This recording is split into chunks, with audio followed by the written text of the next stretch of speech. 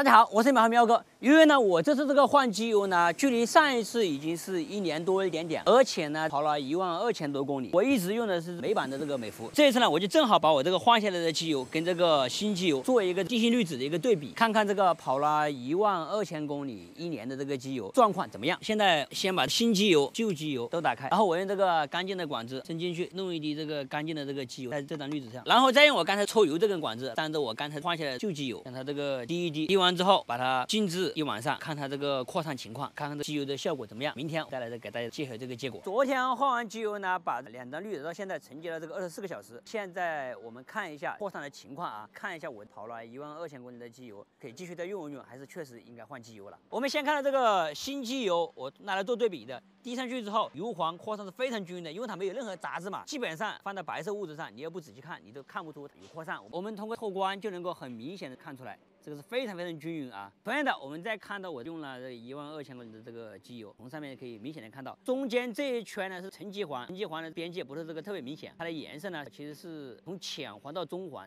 中黄的代表这个比较差，浅黄的代表还行。就目前的情况来看，这个其实沉积黄。效果呢不算太差啊。现在我们看到这个比较明显的这一圈呢，这一圈叫这个扩散黄，是由沉积黄向外扩散的一个情况，就是使用过的机油里面的杂质在它的这个添加剂的作用下向外扩散的一个能力。如果这个扩散出来之后，这个颜色越深，边界越明显，说明油目前的这个质量就越差。从目前来看呢，我这个边界比较清晰，但是颜色深度是比较均匀的，不是那种比较深的颜色。按照这个对比来说，也就是在三度左右，所以这个恶化的也不算太厉害。最后外面这一点点，我们可以看到。这一圈呢，就是另外的这个油黄，颜色也是从浅黄到中黄。如果说它的这个颜色越黄，代表它这个氧化的越厉害。我们现在看到这是只有一点点，说明整个氧化的不那么厉害。所以从这个定性滤纸上面显示的情况来看呢，就我这台车用水版的美孚机油跑了一万二千多公里，一年多一点的这个时间来看呢，这个机油其实从氧化的角度来说，它的氧化是不算厉害的啊。然后呢，机油的活性其实还算可以，就目前这个情况来看呢，再跑一跑问题也不算太大。所以呢，通过我自己的实际验证啊，平时在